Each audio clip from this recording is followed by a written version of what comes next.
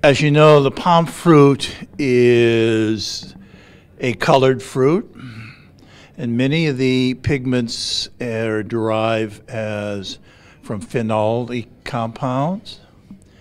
And the phenolics in the aspect that we work on are the water soluble phenolics. So when they're processing the palm fruit, they use water into uh, steam and inactivate enzymes as they go into the crushing aspect. Those phenolics from the palm fruit uh, accumulate in this water fraction.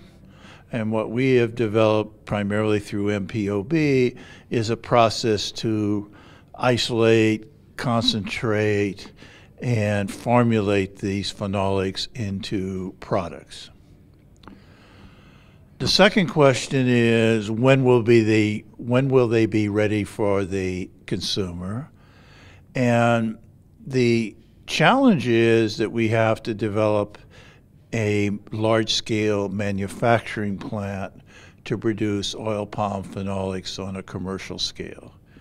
Uh, to date, uh, most of the oil palm phenolics and all of it being done in the studies that you've heard about are the product of a small pilot plant at Labu.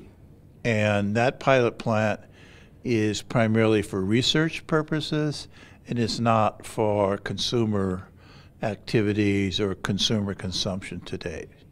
Hopefully, when we get the plant built, uh, we will have readily available products.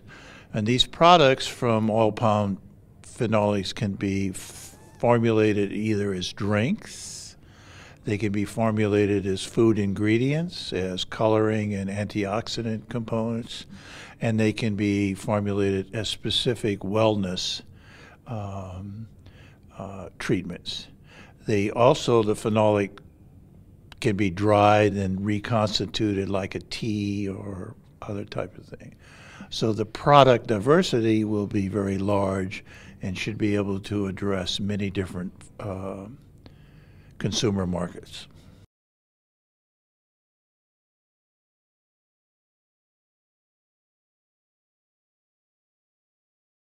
Well, we hope that there will be really significant benefits in the area of what we would call wellness and preventive health.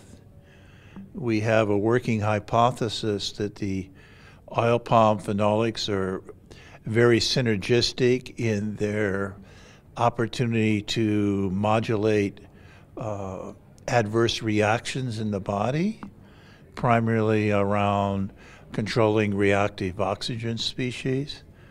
We know, for example, that the oil palm phenolics in animal models have been shown to be preventive in diabetes in, in the Nile rat model. We have both in vitro cell culture data as well as animal models to show that they're um, effective in age dependent macular degeneration, which is very important here in Malaysia and actually is. Uh, almost an epidemic. And then um, in the area of neurodegenerative diseases.